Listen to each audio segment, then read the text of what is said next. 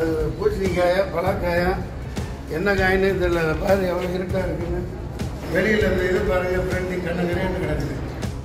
வேலூர் தொகுதி வேட்பாளர் மன்சூர் அலிகான் வாக்குப்பதிவு மையங்களுக்கு சென்று பார்வையிட்டார். அப்போது தனது சின்னமான பலாப்பழம் இருட்டில் இருப்பதால் சரியாக தெரியவில்லை என்று அதிகாரிகளிடம் குற்றம் சாட்டினார். கட்டுற கம்பில இருந்து அடிக்கிற ஆணி வரைக்கும் எல்லாம் குவாலிட்டியா இருக்கணும்ல. பிரகாஷ் போன்றவர்களுக்காகவே ஜிபிஆரின் டிஎம்டி கம்பிகள். மக்களவைத் தேர்தலில் வேலூர் தொகுதியில் சுயேட்சையாக மன்சூர் அலிகான் களமிறங்கியுள்ளார். அவருக்கு பலாப்பழம் சின்னம் ஒதுக்கப்பட்டுள்ளது. திடீரென உடல்நிலை சரியில்லாமல் போனதால் மருத்துவமனையில் அனுமதிக்கப்பட்டார். சிகிச்சை முடித்து திரும்பிய அவர் வாக்குப்பதிவு நடைபெறும் இடங்களில் சுற்றி சுழன்று வருகிறார். வாக்குப்பதிவு நாளான இன்று கொணவட்டம் பகுதியில் உள்ள அரசு பள்ளியில் அமைந்துள்ள வாக்குச்சாவடி மையத்திற்கு சென்று வாக்குப்பதிவு நடைபெறுவதை பார்வையிட்டார். பின்னர் வாக்குப்பதிவு இயந்திரங்கள் வைக்கப்பட்டுள்ள இடத்தில் வெளிச்சம் போதிய அளவு இல்லாததால் பொதுமக்கள் சரியான முறையில் வாக்களிக்க மாட்டார்கள் என்று குற்றம் சாட்டினார். வாக்களிக்கும் இயந்திரங்கள் இரண்டு வைக்கப்பட்டிருக்கின்றன. அதில் முதல் இயந்திரம் இருக்கும் பகுதியில் மட்டும் வெளிச்சம் இருக்கிறது. மற்றொரு இயந்திரம் இருக்கும் பகுதியில் வெளிச்சம் தெரியவில்லை. அதனால் உடனடியாக நடவடிக்கை எடுக்க வேண்டும் என்றும் கோரிக்கை வைத்தார்.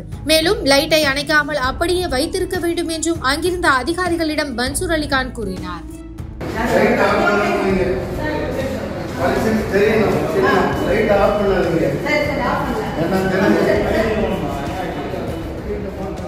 கட்டுற கம்பில இருந்து அடிக்கிற ஆணி வரைக்கும் எல்லாம் குவாலிட்டியா இருக்கணும்ல. பிரகாஷ் போன்றவர்களுக்காகவே ஜிபிஆரின் டிஎம்டி கம்பிகள்.